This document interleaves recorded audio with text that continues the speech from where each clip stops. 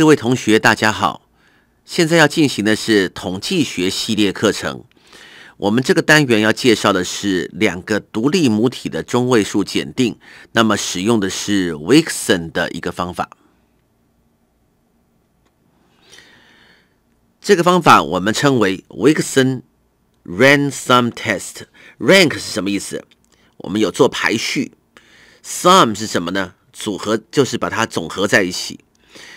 这个方法的话呢，跟我们前面的 sign test 是有一点不太一样，但是观念是很接近的。前面那个地方哈，我们只比大小，大就是正，小就是负。那么大很多跟大很少，它都把它视为一致，所以这个部分来说更加的精密了。这个地方来说。我们可以说比较呃算是 scientist 的一个改良方法，它针对什么呢？两个独立母体的检定中位数。那这个方法，我们来看一下独立母体的检定。我们以前是在母数的时候是独立母体 t 检定，独立的母体 t 检定。这个以前是检定什么？检定 mu，这个是检定 eta。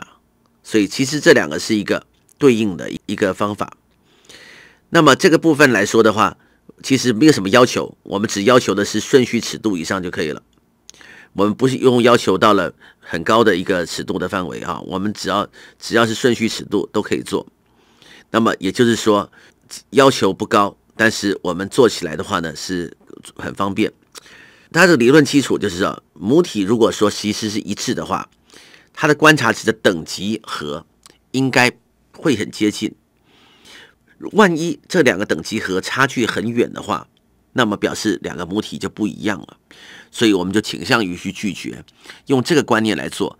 可是同学还可能还不知道什么叫做 rank sum。来，很简单，拿一个例题来，同学就知道了。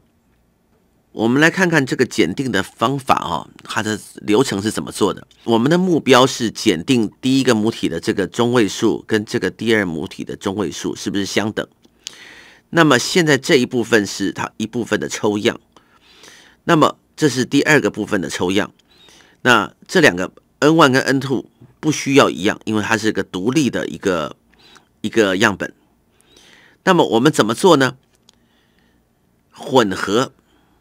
再排序，我们去做混合的排序，把它混在一起，一起来从最小排到最大。假设这个总和全部叫做 n，有 n 笔资料的话，那么我们遇到同分怎么做？用平均的等级，怎么说呢？比如说啊，这边的话，一落在这边，二落在这边，三落在这边，然后七落在这边，八也一样。七八这两个数字啊，按照顺序的排的话，我发现它是同分的时候，我们各给七点五就可以了。为什么要这样子来算呢？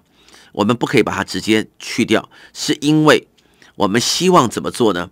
等级的和 W one 跟 W two，这是 W one 的，这 W two 它的等级的总和，我希望的是。从头到尾总共有 n 笔的话，我希望它的总和都一样，二分之 n 乘上 n 加一。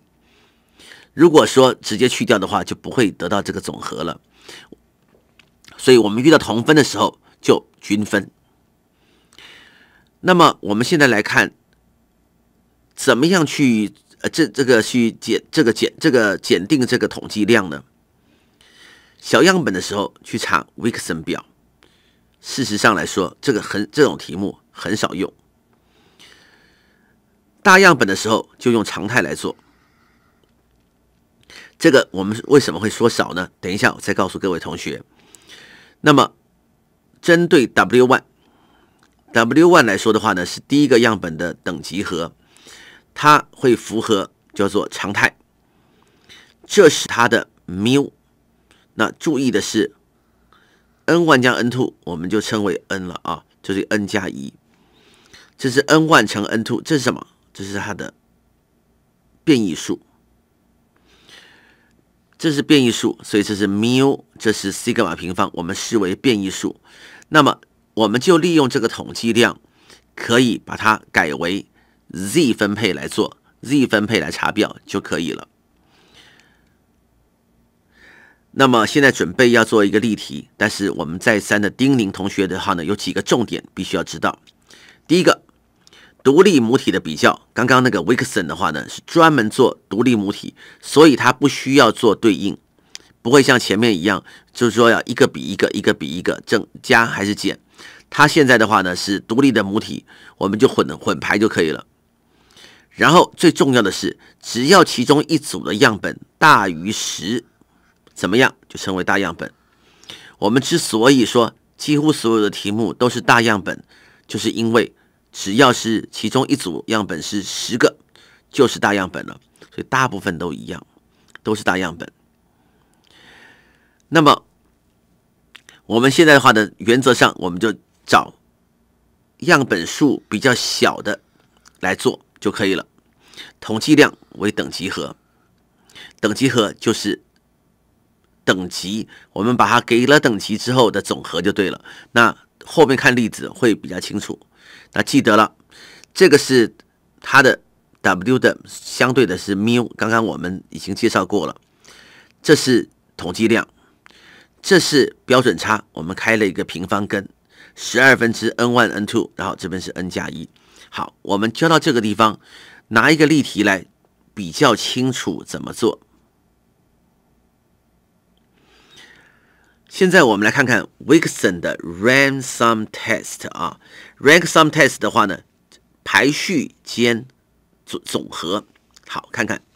假设两群有一共有二十一名妇女，一群长期服用荷尔蒙，一群服用安慰剂。我们来记录她的这个更年期的状况，在显著水准零点五之下，我们希望用的是什么呢？Rank sum test 检验定是不是这两个母体是一样的？如果是 eta one 等于 eta two，代表什么意思？这荷尔蒙药就是跟安慰剂没两样了。那我们来试试看。首先，当然就要按照顺序排。诶，这个地方没有排很没有照着顺序的话，我们也要小心的处理。最小的是多少？一，我这边就写一个一。再过来按照顺序来看哦。第二小在这边，第三呢在这里，再过来第四、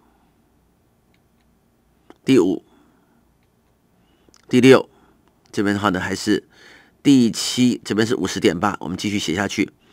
第八就在这边了，第九呢这里，第十这里，第十一到这里来了，五十一点八，然后这十二。再过来，五十二、十三、十四，这边，这边是十五，再大一点就是这边是十六、十七、十八、十九，这边是二十，在这里，这边二十一。好，我们全部都按照顺序排了。这个总和就多少？这个全部加起来，这叫 W one，这叫做 W two。来，W 的话呢，我们我们取这个少的好了。这个三加一加八，全部加起来是多少？一百一。那么它所要的这个统计量哈，我们前面的话有介绍过了，因为这是一个大样本，大样本。我们把它的统计量算出来，它相对的 mu 是多少？二分之 n one 乘上 n 加一，n 加一这是二十一比饲料，所以这是二十二。n one 有几个？有十个，所以这里也是一百一。那么 sigma 呢？sigma 相当于就是标准差，十二分之 n one n two，n one 是十个，这里是十一个，n 加一这里是二十二。所以我们的标准差用的是什么？十四点二。那么现在要检定谁呢？检定的是用 z 检定的方式去做。那来，我们用 z，z 等于 w，就是这个，减掉 mu 除以 sigma，一百一减掉一百一除以十四点二，零，零代表什么？非常的中心，非常的中心是代表什么意思啊？代表的是结论不显著，是代表的是哎，这两个是没什么差别。这个题目啊，Wilson Rank Sum Test 的话呢，专门检定两群体的统计量的中位数的差异。那么原来是不是常态？不需要要求。那这个是我们觉得是最方便的一个地方。然后再来就是我们的重点是在于统计量，记得这是相当于它的 mu 的一个数值，这个是相当于是它的 sigma 的平方的这个数值。那么我们也提醒各位同学，只要是 n 大于十，就叫做大样本。所以几乎所有的题目都是大样本。